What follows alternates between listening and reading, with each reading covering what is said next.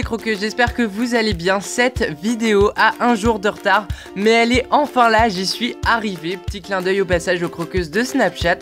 On se retrouve donc non pas pour un tuto Fimo facile, pas pour une customisation de t-shirt, mais bien pour la créa du lapin de Zootopie Judy Hoops façon réaliste. J'espère sincèrement que cette vidéo va vous plaire, étant donné que en ce moment il y a moins de tutos Fimo réalistes sur la chaîne. Donc si jamais vous l'aimez, dites-le en commentaire. Tout de suite on commence cette vidéo et on se retrouve à la fin comme d'habitude pour le rendu. On commence par prendre une plaque de pâte blanche sur laquelle on installe notre patron et on découpe la forme du visage. On trace toutes les grandes lignes et on enlève le surplus. On passe maintenant aux yeux pour lesquels on creuse un petit trou. On lisse un peu. Et donc maintenant je viens installer euh, mes yeux que j'ai cuits au préalable. On installe un petit peu plus de pâte pour le front. On lisse tout ça, comme d'habitude. Les pommettes. Donc il faut savoir qu'elle a un visage assez rond. Donc euh, allez-y bien pour rajouter de la pâte. Hein.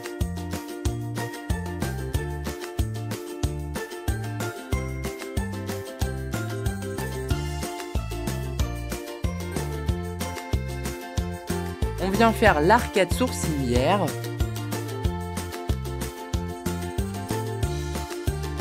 Lisse comme d'habitude. Donc toujours souder puis lisser, souder puis lisser. On fait la paupière.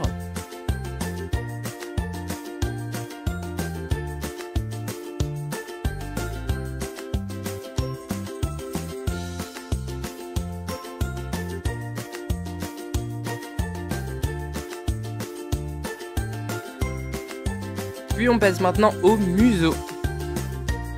Donc il faut savoir que pour cette étape, euh, personnellement, j'ai dû refaire deux fois le museau parce que la première fois, ça ne me plaisait pas.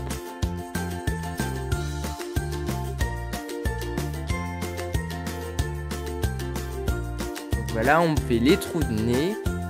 Et maintenant, la bouche. Donc comme d'habitude, on rajoute de la pâte, on soude et puis on vient lisser.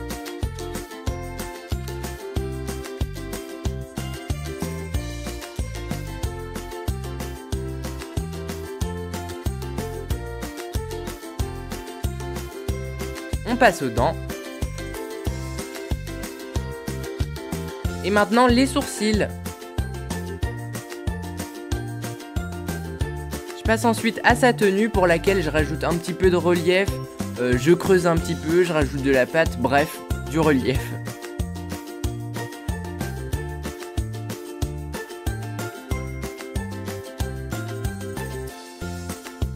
On met son insigne et je viens couper pour que ce soit un petit peu plus droit quand même.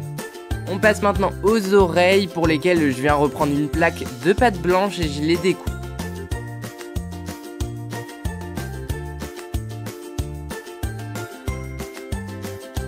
Donc voilà, on soude, on lisse comme d'habitude. C'est vraiment super répétitif. Je viens creuser euh, l'orifice des oreilles et je viens lisser.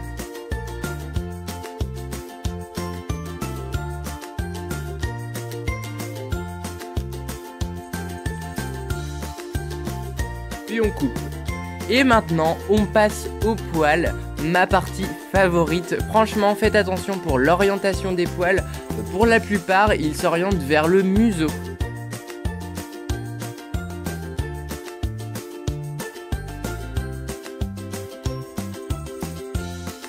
Voilà, on fait ça correctement, petit à petit, mais correctement.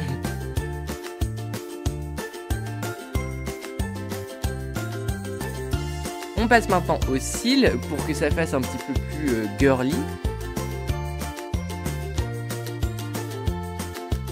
Et voilà le rendu de la sculpture avant cuisson. On passe maintenant au four.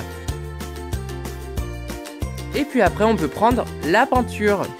Donc là je mélange un petit peu de jaune, de noir, de marron, bref je fais un beige assez clair. beige gris. Hein. Mélange ça avec de l'eau et j'applique sur la sculpture. Donc vraiment partout pour faire euh, un poil euh, vraiment uni.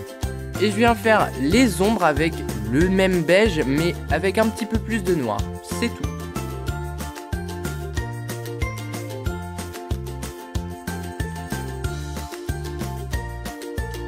Les sourcils en marron. Et ensuite du rose pour l'intérieur des oreilles. Donc là par contre pour les ombres des oreilles j'avoue que c'est un petit peu parti en sucette maintenant on passe aux zones de lumière. Donc sur le côté du visage, en haut, euh, entre les deux oreilles, bref, partout où la lumière se reflète. On passe autour des yeux.